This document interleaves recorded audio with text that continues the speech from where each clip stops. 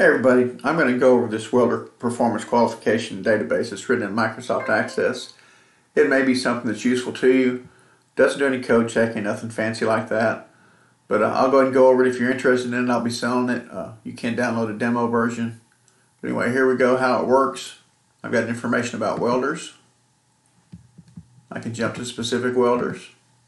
I can see their tests that they've made, production welds, continuity info, that kind of information. So we'll close that. The other thing I have is weld test ranges. Okay, and there's a warning there that if you change one of these weld test ranges, it's going to change it for everybody that's previously qualified uh, using that test. So the information for the ranges of the actual test and the qualified ranges are all put in here. If I edit something here, it's going to change it everywhere I've referred to this test. And there's multiple tests in the demo version these are just for information. These may or may not be accurate, so you need to make sure you look at the code yourself. Close it form. So the way that I do a welder test entry, click that button. I'm going to click add new down here. Pick a test date. Pick a welder out. We'll go with uh, I should have been a fitter. And we'll pick a test out for form. I can check here if it's company witnessed, put the company that they were tested for, if it's someone besides my company that's registered to the software. By default, this one, of course, was being a demo version, it's going to put that information in there. Who the person was. Put in oh, I don't see well. I can't see well's cousin.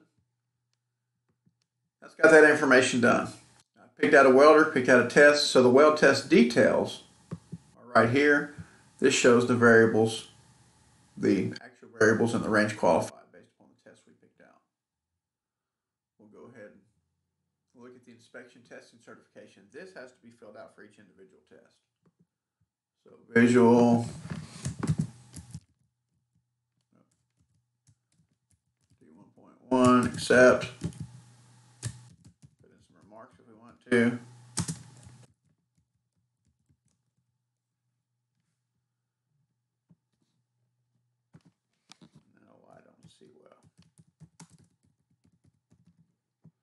And the same thing can be done for your bends. You can pick it out of a list. Not going to fill anything else in for you, but it will give you that part right there where you don't have to uh, do it. So we'll put side bends. One. Remarks. Two bends.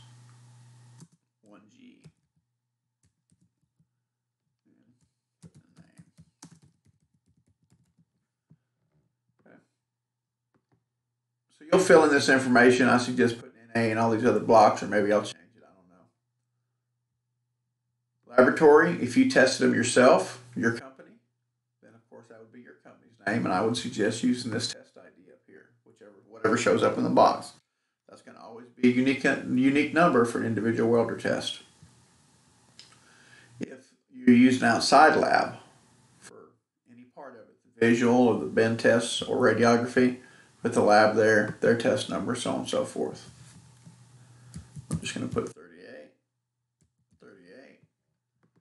By default, it's going to add me as a test supervisor. You can change that for the demo program. Put in accept. Here's the test supervisor statement. You can change that as you want to. And I can put in comments. If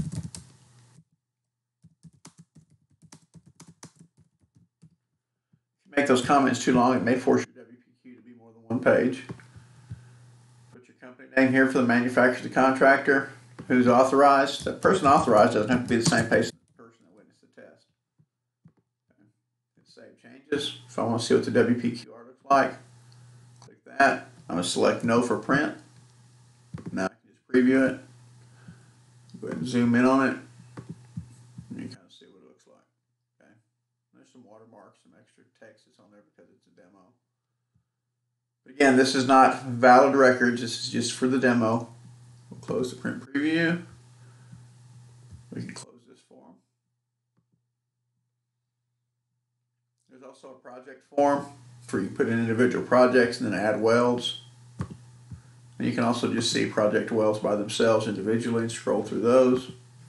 That information is used for list of production welds that's been performed by that welder, what date that they welded on. Also uses to update the continuity information. It'll let you know if there's a uh, someone welded outside of their continuity. There's one right there. Test date 7-1. First test 1030. Last test, last weld test date, or last weld date was 32422. So their months from test to their first well, that was good. Months from their first well to the last well, 41.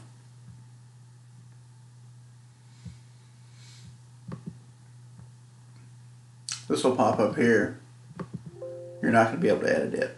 So this stuff for the continuity and the production welds is just a little bit of informational stuff. Uh, you know, make sure that everything is showing up right for you.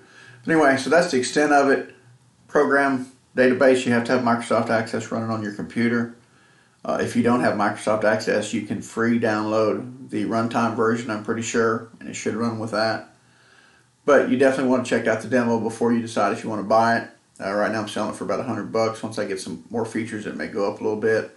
And who knows, maybe nobody's interested in it. But if nothing else, it'll kind of let you see an alternative method to saving welder performance qualification records. Hopefully this helps.